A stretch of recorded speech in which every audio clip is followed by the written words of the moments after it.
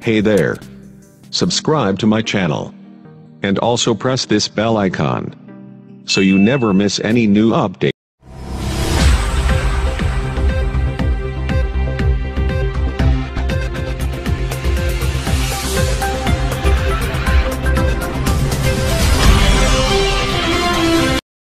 नमस्कार दिन भर की तमाम बड़ी और अहम खबरों के साथ मैं हूं सुनील यादव आप देख रहे हैं निष्पक्ष बात शुरुआत हेडलाइन से माध्यमिक शिक्षा मंडल के परिणाम घोषित छात्राओं ने फिर लहराया परचम। ट्रक की चपेट में आने से दो महिलाओं की मौत धूप से बचने के लिए बैठी थी ट्रक के पास। पुलिस अधीक्षक की स्पेशल टीम के प्रभारी उमाशंकर यादव ने पकड़े। अवैध उत्खनन करते हुए दो ट्रैक्टर ट्रॉली। खंडवा में लोहार की बेटी ने कक्षा बारहवीं की परीक्षा सर्वाधिक अंकों से उत्तीर्ण कर टॉप टेन में अपना नाम शामिल कर यह साबित कर दिया कि गरीबी कभी प्रतिभाशालियों के रास्तों का रोड़ा नहीं बनती है। ये कमाल कर दिया है। समरीन ने जिनका कहना है कि उनकी सफलता में उनके वालिद का बहुत बड़ा योगदान है। ऐसा लग रहा है कि वे कोई सपना देख रही हैं। आपको बता दें कि समरीन के यहाँ आज भी टीवी नहीं है। भाई उनके पिता घर से दूर होने के बाद भी हर रोज समरीन को स्कूल छोड़ने जाते थे।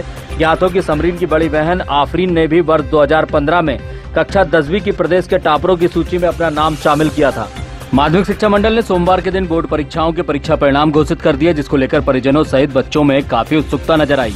परीक्षा परिणाम की घोषणा करते ही परिजनों सहित छात्र छात्राएँ मोबाइल पर या कंप्यूटर सेंटरों पर परिणाम देखते हुए नज़र आए। होशंगाबाद ज़िले की कक्षा दसवीं की मेरिट लिस्ट में बनखेड़ी निवासी जीतेश पिता प्रेम नारायण पटेल ने चार सौ बयासी अंक लाकर प्रथम स्थान हासिल किया। वहीं बनखेड़ी की शुभे पिता सुरेंद्र कुमार साहू और बाबई की पूर्वी पिता अविनाश दीवान ने 480 अंक लाकर द्वितीय स्थान हासिल किया एवं सोहागपुर की सुरभि पिता सेवाग्राम बलवंशी और सिवनी मालवा की अनमोल पिता मनोज सिंगवाने ने चार अंक लाकर तृतीय स्थान हासिल किया जिन्हें सभी शुभचिंतकों ने बधाई देकर उज्जवल भविष्य की कामना की। कौन सी क्लास? कौन सी स्कूल से? स्वामी दयानंद सरस्वती आदर्श तो आपको कितने मार्क्स मिले?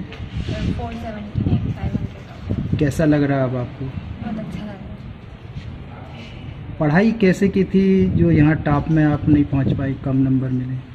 पढ़ाई तो कोशिश तो पूरी की थी लेकिन नहीं हो पाई। मुझे बहुत खुशी हुई है कि आज मैं इस मुकाम पर हूँ और मैं अपनी खुशी मेरी खुशी का ठिकाना ही नहीं है। इतनी खुशी हो रही है कि मेरे पास कोई अल्फाज ही नहीं है जिसमें मैं बयान कर सकूँ। ऐसा लग रहा है जैसे ये कोई सपना है।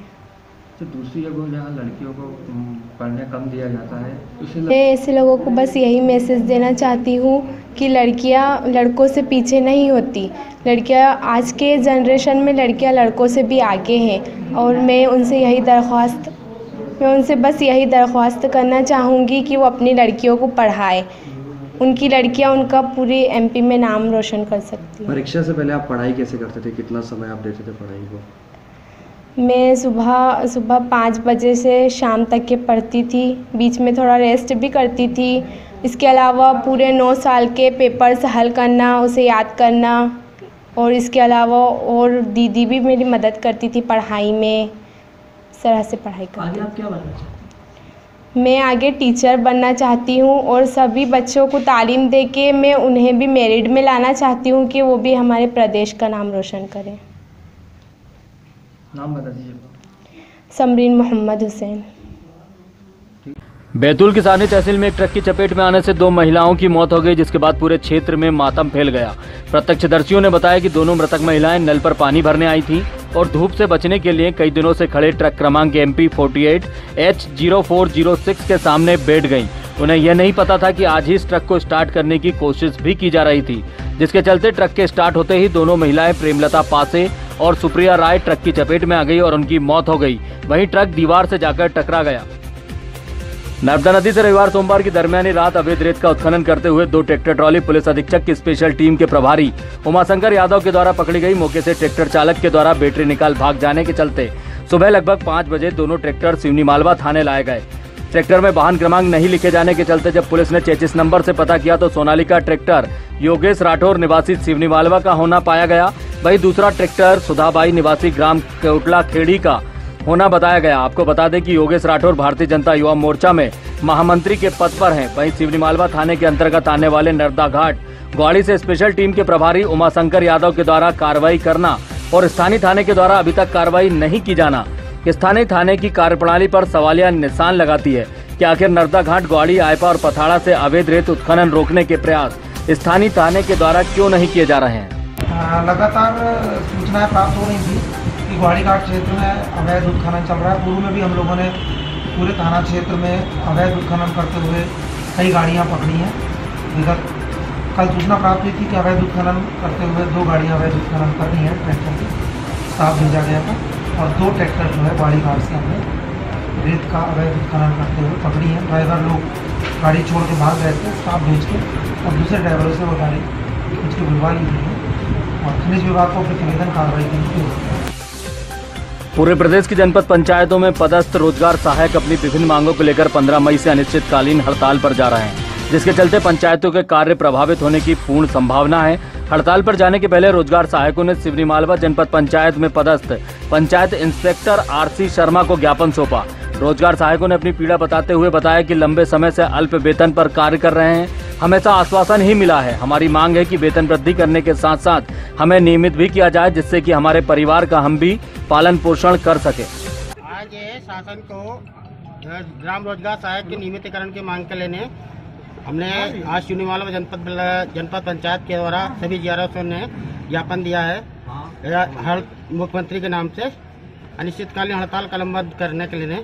जब तक हमारे शासन मांग पूरी नहीं करती तब तक हम अनिश्चितकालीन कड़मबंद हड़ताल करेंगे। मांगे क्या है हमारी मांगे सिर्फ़ नियमितीकरण और कुछ नहीं मांगे सिर्फ़ हमको नियमितीकरण चाहिए। पंद्रह तारीख पंद्रह पाँच दो हज़ार अठारह से जो सभी ग्राम पंचायत मध्य प्रदेश के पूरे चार सौ तेईस तेईस हज़ार ग्राम रोज़गार सहायक अनिश्चितकालीन कलम हड़ताल पर है। प्रदेश अध्यक्ष हमारे रोशन सिंह परमार के नेतृत्व में कल से कलमबंद हड़ताल टिमरनी विकासखंड में खेल एवं युवा कल्याण विभाग एवं तिनका सामाजिक संस्था के संयुक्त प्रयासों से टिमरनी विकासखंड में एक मई से 15 जून तक शिविर का आयोजन किया जा रहा है, जिसमें प्रमुख रूप से बेटियों को कराटे, एथलेटिक्स, जिम एवं डांस व स्पोकन इंग्लिश का निःशुल्क प्रशिक्षण दिया जा रहा है। वहीं सभी खिलाड़ियों को शिविर के समापन पर किट एवं प्रशस्ति पत्र। खेल एवं युवा कल्याण विभाग के जिला खेल अधिकारी डॉक्टर जामिल अहमद खान के द्वारा प्रदान किए जाएँगे।